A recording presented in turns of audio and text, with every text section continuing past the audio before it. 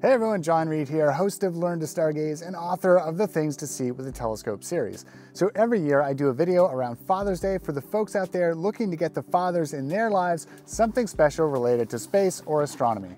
So this year, here's what we're gonna cover. Binoculars for stargazing. These will range in price from about $50 to $150.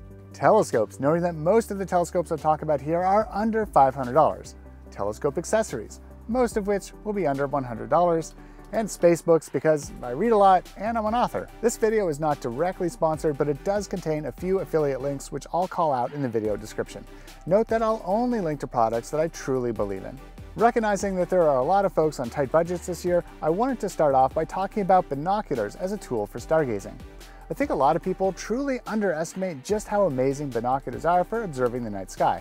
Many of the night's best targets, such as the Andromeda Galaxy and the Pleiades, look far better in binoculars than they do through a telescope. That said, if your dad is asking specifically for a telescope this Father's Day, then he probably wants a telescope, so feel free to skip until the next section. There are three types of binoculars that I enjoy for stargazing. The first is a basic pair of 10 by 50s, and for these I'd budget around $50. Now I have an old pair that I need to replace, and when I do, I'm currently looking at these ones, the Bushnell PowerView 10 by 50s. For binoculars, the first number is the magnification and the second number is the aperture, the diameter of the primary lens. So for the PowerView binoculars, the magnification is 10 and the aperture is 50. I found that 10x is a pretty good level of magnification for stargazing if you're just holding the binoculars freehand. When you get much higher, the image seems to bounce around.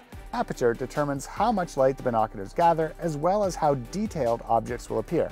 That's why 50 millimeters and higher are generally recommended for observing things in space. In any case, if you're picking up binoculars for stargazing, it's good to get what's called a monopod and a binocular adapter. To connect the adapter to the binoculars, the logo on the hinge of the binoculars pops off and there's a place to screw in the binocular adapter. Then there are the 2X or Milky Way binoculars. I found these to be a lot of fun. Basically, they give you superhuman vision. They don't magnify the sky very much, but when you use them, so many more stars seem to pop into view, even from light polluted skies. Then we have actual astronomy binoculars. The most popular version of these are in the Celestron Skymaster series, the most popular being the 15 by 70s or 25 by 70s.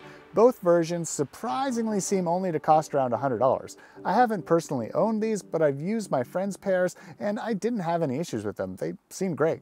The 15X versions are probably easier to use, but in any case, I definitely recommend using them on a tripod or at least a monopod with a binocular adapter. There are lots of other options for binoculars, but as you get fancier, like with zoom binoculars or image stabilizing binoculars, I feel like you might as well just invest in a telescope. Now let's talk about telescopes. Assuming your dad is a beginner, I have five rules for choosing a beginner telescope.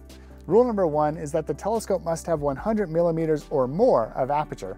Yes, there are some good telescopes with less aperture, like the Skywatcher Evo Star or Evo Lux but having a requirement of 100 millimeters of aperture eliminates a lot of the crap that's out there on the telescope market. Rule number two, the telescope should come with a red dot or bullseye finder, not a finder scope, or at least a universal dovetail adapter so that you can attach the finder of your choice. Rule number three, the telescope should come on an AZ or Dobsonian style mount, not an EQ mount. Altazimuth or AZ mounts are just so much easier to use, and I think they're just far more fun. Rule number four, the telescope should be free to move, but stay fixed in place when released. This eliminates telescopes on camera tripods or rod and yoke mounts. Struggling to point the telescope or struggling with a stabilizing rod are things that just suck the fun out of using a telescope. Finally, the telescope should simply be able to point straight up. And if it's a refractor, it should come with a 90 degree diagonal, not a 45 degree diagonal. You'd be surprised how many telescopes that are marketed to beginners simply can't point high in the sky. With these five rules in mind, here are my recommendations for 2024, and currently these tend to run between about $200 and $500. I also frequently check the refurbished page of B&H Photos as I found some fantastic deals on there as well. The beginner telescopes that I recommend for those on a budget tend to fall into three categories. First, the 102 millimeter refractors, and second, the 130 millimeter Newtonians, and third, the 6 to 8 inch Dobsonians. Note that none of these telescopes include computerized mounts, as a good computerized mount is typically purchased separate from the telescope. Let's talk about the 102 millimeter refractor for a second.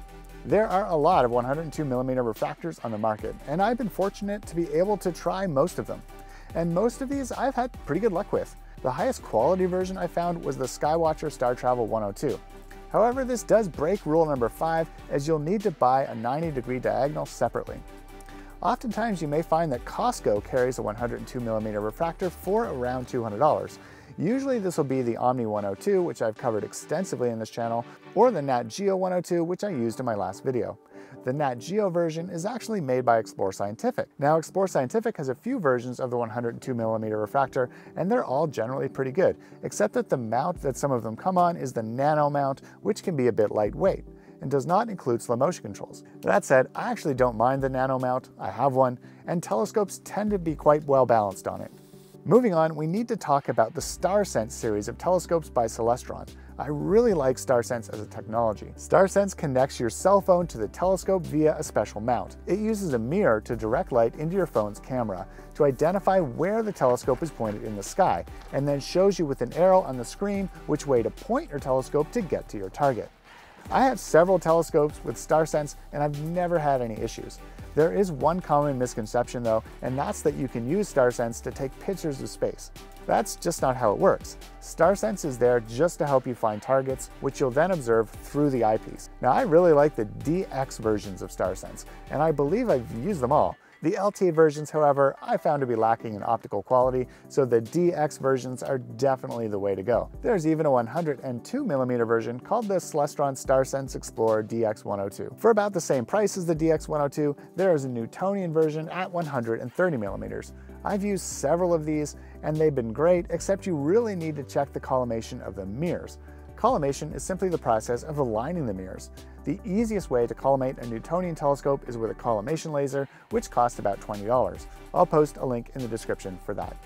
I personally have the DX5, which is a Schmidt-Cassegrain design, which I really enjoy. There's also the Dobsonian series, which I got to test, and that was an absolute blast. Speaking of Dobsonians, to get the best views of deep space per dollar spent, you need to look at the Dobsonian style telescope. These days, the only version that seems to be under $500 is the 6-inch version. But you can often find the 8-inch version used for under $500 as well. I actually got my 8-inch Dobsonian used for $200, but that was about five years ago. Now, if you're interested in astrophotography, but don't have a budget of several thousand dollars, New this year is the ZWO Seestar S50 for just 499 US dollars. I've had one for several months now and it's been really fun to use. It was especially fun during the total solar eclipse because I could just set it up, set it to time lapse, and just leave it alone. Well, that's it for telescopes. Now let's talk about accessories. Here are a few astronomy gifts for dads for under $100. If you think of anything else that folks should know about, let us know in the comments. First, we have red light headlamps. These are very helpful to help you maintain your night vision and for reading astronomy guidebooks. There are several of these on Amazon and they're usually found for under $20. Next, we have zero gravity chairs. These are great for watching meteor showers or stargazing with binoculars. Here in Canada, we typically pick up zero gravity chairs at Canadian Tire.